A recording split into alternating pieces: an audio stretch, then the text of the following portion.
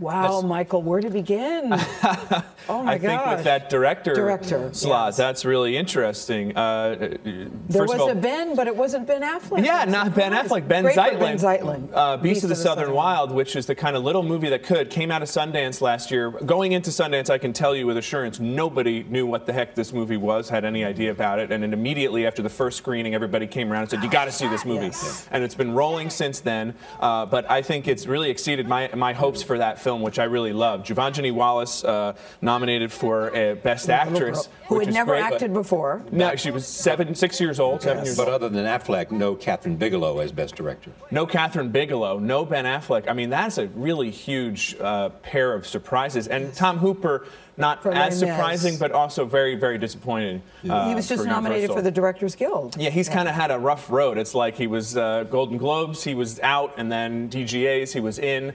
But uh, this is a very surprising list, actually. Why do you suppose that is, that both Bigelow and, and Ben Affleck were not nominated? I, I think that take? the that the controversy surrounding Zero Dark Thirty has been really damaging. Uh, the the notion that this is a film that's that's easy on terrorism is not something that's going to go down well with the membership of the Academy. This is a pretty liberal group. Mm-hmm. This is a group that was not very pro George uh, W. Bush. But also, I think the film is long and it's slightly odd, and you know it, it, it, it Mm. it's offbeat, so people may ha- just not have loved it.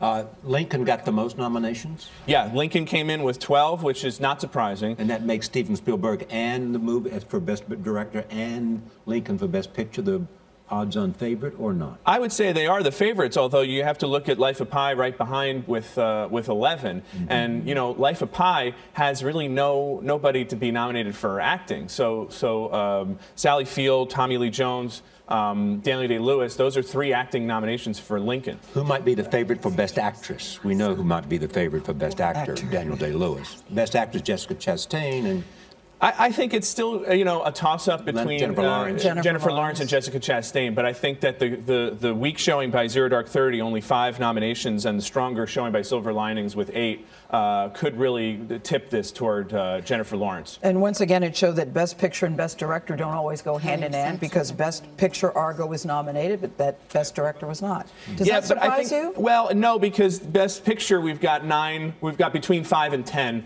slots, right? So Mm-hmm. they've they've given us nine nominees, but really you're not going to win Best Picture if you don't have a nomination for Best, Best Director. Director. Are you So all the directors have been nominated for Best Picture. are you surprised by Django I am surprised. Uh, no, I'm not. I'm not surprised by Django being in there for Best Picture. and Uh, Best Director? Not Best Director. He's not in for Best Director, which is what I expected. Actually. Who is who is the likely favorite for Best Supporting Actress? Best Supporting Actress is probably Anne Hathaway. That that one you can kind of engrave her name on the on the statue at this And point. Best Supporting Actor?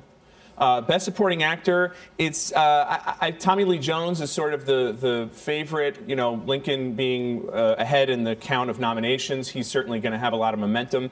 I think there's some feeling that, that maybe Robert De Niro could I was going to say competing with Robert De Niro. yeah, and it's been a long time since De Niro. He hasn't been nominated in, in 20 years or so. Is there a theme here? I think uh, the the theme is that maybe some of these controversies really beat up movies. You know what I love Dark is the fact that an 85 year old and a 9 year old got nominated for Best Yes. Actress. How great is that? And Emmanuelle Riva, uh, Quvenzhané Wallis, I really hope people go out and see these movies, Amour, Beast of the Southern Wild. That's a great lift. Thank you, Michael.